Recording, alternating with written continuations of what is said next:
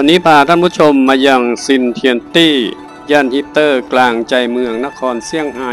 ประเทศจีนนะครับ สถานที่แห่งนี้ก็เหมือนย่านชุมนุมของวัยรุ่นนะเป็นแหล่งที่รวมของแฟชั่นนะเหมือนกับสยามนะที่กรุงเทพของประเทศไทยบ้านเรานะก็วัยรุ่นที่นี่ก็จะมาท่องเที่ยวนะครับแล้วก็เดินช้อปปิ้งมาดื่มมากินกันที่นี่นะครับ ที่นี่ก็จึงกลายเป็นสถานที่ท่องเที่ยวติดอันดับต้นๆของเมืองเซี่ยงไฮ้ไปแล้วนะครับ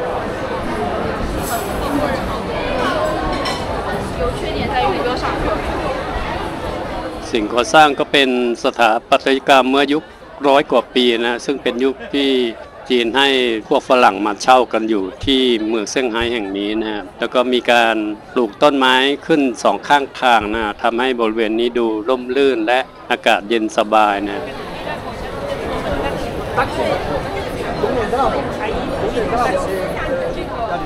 ที่นี่มีคนเมืองคนเชียงใหม่มากันนักนะครับ แล้วก็คนกรุงเทพคนต่างจังหวัดก็มากันค่อนข้างที่จะเยอะนะครับ สังเกตดูเสียงคนไทยก็คุยกันเต็มไปหมดนะครับ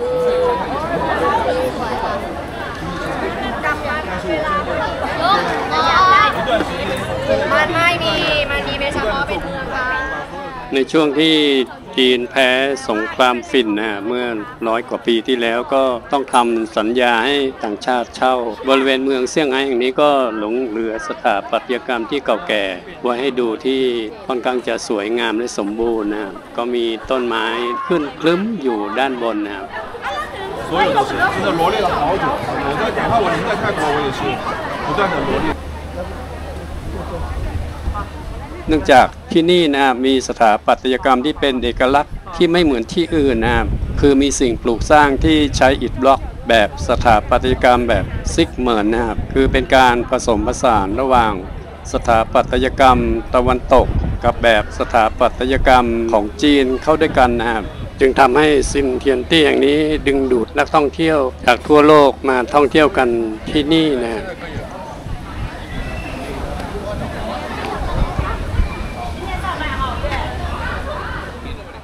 ทางเดินก็จะมีกำแพงหิน แล้วก็มีประตูด้านบนเป็นประตูหินโค้งนะครับ ก็เมื่อสมัยร้อยกว่าปีที่นี่ก็เป็นแหล่งอาศัยของคนชาติตะวันตกนะครับก็คงเป็นพวกฝรั่งนะครับในยุคที่ล่าอาณานิคม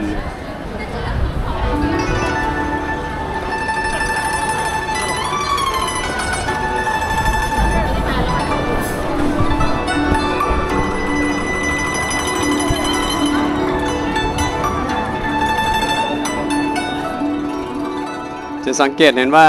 นอกจากสถานที่แห่งนี้นะครับมีอาคารบ้านเรือนสมัยเก่า ที่บางหลังน่าจะบูรณะหรือว่าทำขึ้นมาใหม่นะฮะอย่างเช่น ผนังด้านซ้ายมือที่เห็นนะครับก็จะมีการเอาบอนไซเป็นต้นไม้ที่สวยงามนะครับก็น่าจะเป็นสนใบพายใบเล็กนะครับก็ทำซอกตึกไว้แล้วก็เอาสนใบพายที่เป็นบอนไซมาปลูกไว้นะ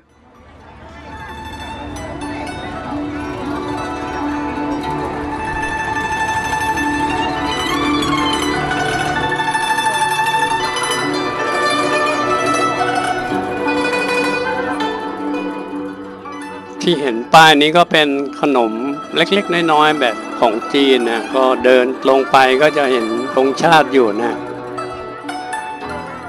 มาถึงบริเวณนี้ก็จะเป็นลานโล่งนะครับมีเสาธงตั้งอยู่นะครับเป็นธงชาติจีนนะครับแล้วก็มีอาคารอยู่หลังหนึ่งเห็นมีคนบอกว่าเป็นที่ทำการของพรรคคอมมิวนิสต์เมืองเซี่ยงไฮ้นะ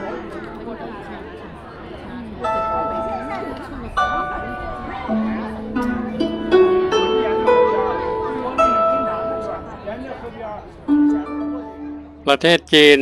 ใช้ระบบการปกครองแบบสังคมนิยมนะ ผมว่ามันก็ดีไปอย่างนะ ไม่มีข้อยกเว้น แม้แต่เด็กหรือผู้ใหญ่นะในเรื่องของระเบียบวินัยนะ ก็ฝึกกันตั้งแต่เด็กๆนะสังเกตดู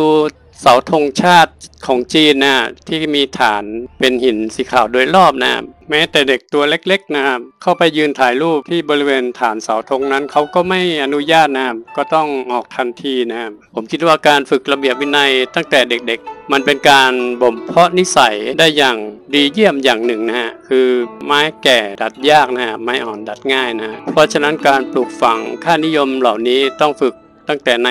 วัยเด็กๆนะฮะ บริเวณโดยรอบแห่งนี้ก็จะตกแต่งด้วยดอกไม้ที่สวยงามนะ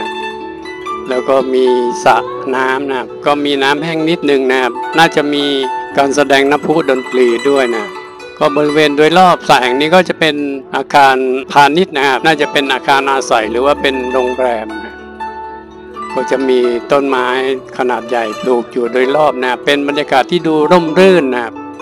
ซินเทียนตี้ แหล่งที่นักท่องเที่ยวนิยมมาพักผ่อนเดินทอดน่องกันได้สบายสบายๆนะ เดินพักผ่อนกันแล้วก็มีอากาศที่เย็นสบายนะคลิปนี้ใช้เวลา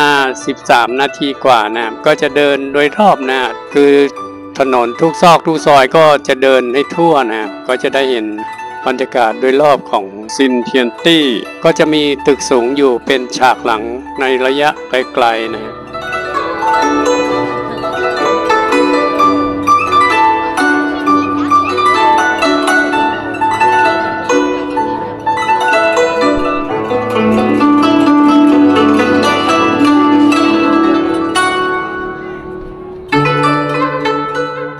จะเข้าร้านหรือว่าซื้อไอติมซื้อกาแฟแต่ละทีก็ต้องเข้าแถวยาวเหยียดนะ ส่วนมากก็ใช้เวลาประมาณ 45 นาทีนะ กว่าจะได้กาแฟสักแก้วหนึ่งนะเ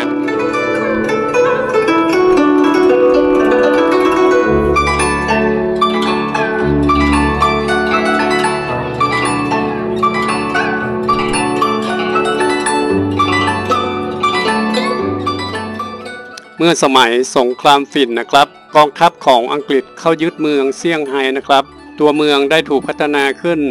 เพื่อรองรับการค้าระหว่างประเทศนะครับ ตามสนธิสัญญาทางการค้าที่ว่าไม่เป็นธรรมต่อจีนนะครับ ก็จึงเกิดการแย่งชิงอำนาจกันหลายครั้งหลายขั้วนะครับ จนถึงการเปลี่ยนแปลงทางการเมืองจีนในยุคใหม่นะครับ รัฐบาลจีนได้กำหนดให้เมืองเซี่ยงไฮ้นะครับเป็นจุดเริ่มต้นของการฟื้นฟูเศรษฐกิจในปี 1991 นะครับ แล้วก็มีการพัฒนามาจนถึงปัจจุบันนะครับ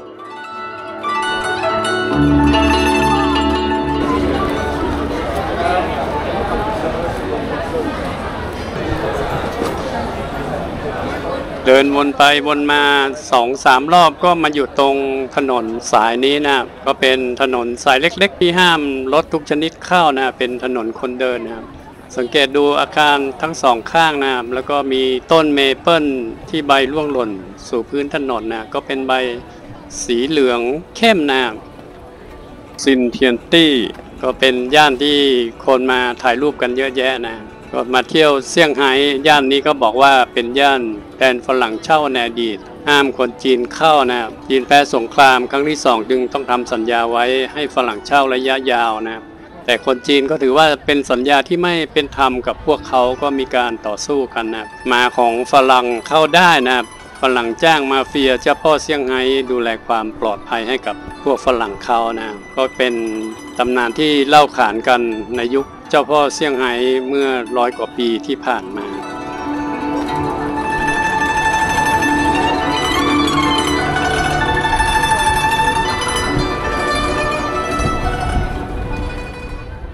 มาเที่ยวเซี่ยงไฮ้ต้องใช้เวลาไม่ต่ำกว่า 3 วันนะครับ ผมคิดว่าถึงจะเที่ยวทั่วนะครับเพราะว่าสถานที่ท่องเที่ยวมีเป็น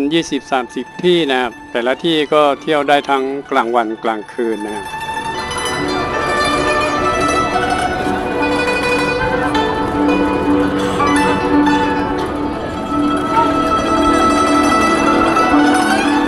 นี่ก็ยังมีคาเฟ่มากมายนะครับ ให้ได้นั่งชิล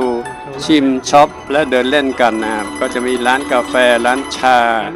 แล้วก็ร้านบูติก ร้านขายนาฬิกานะแล้วก็มีการเอารถยนต์แบบเท่ๆนะครับก็เป็นรถแนวสมัยใหม่มาโชว์ด้วยนะ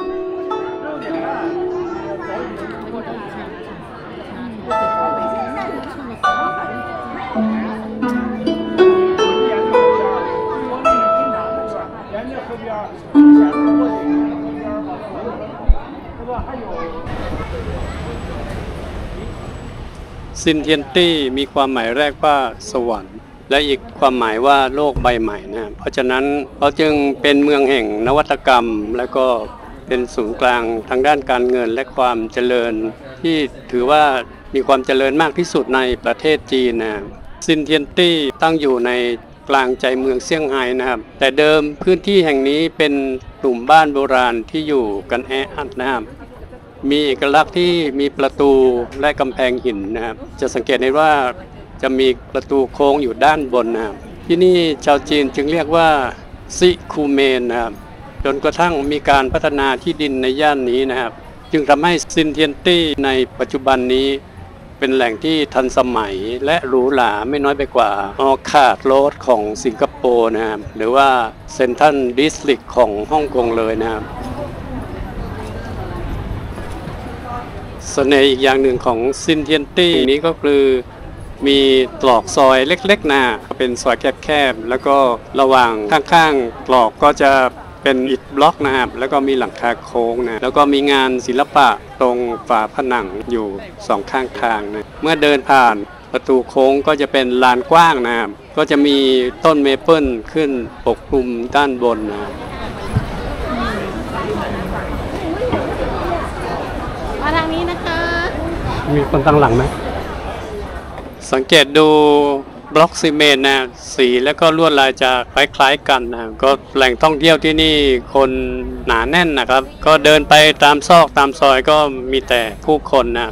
เดินเข้าห้องน้ำสังเกตดูนะครับ แถวยาวเหยียดก็เป็นคุณผู้หญิงนะเพราะว่าการเข้าห้องน้ำใช้เวลานานนะส่วนผู้ชายแทบจะไม่มีนะเพราะว่าเราเข้าแป๊บเดียวก็เสร็จนะก็แหล่งท่องเที่ยวที่นี่ห้องน้ำสะอาดนะครับ เดี๋ยวนี้ห้องน้ำประเทศจีน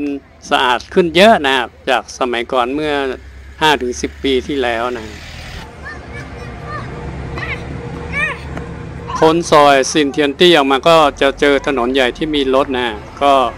เลี้ยวขวาเลี้ยวขวาอีกครั้งหนึ่งก็เข้าสู่ถนนซินเทียนตี้อีกครั้งหนึ่งนะมหานครเซี่ยงไฮ้เป็นจุดหมายปลายทางหนึ่งสำหรับนักท่องเที่ยวที่มาเที่ยว ประเทศจีนจะต้องมาอย่างที่ซินเทียนตี้แห่งนี้สักครั้งหนึ่งนะเพื่อมาพักผ่อนมาชมบรรยากาศของแหล่งแฟชั่นและวัยรุ่นนะ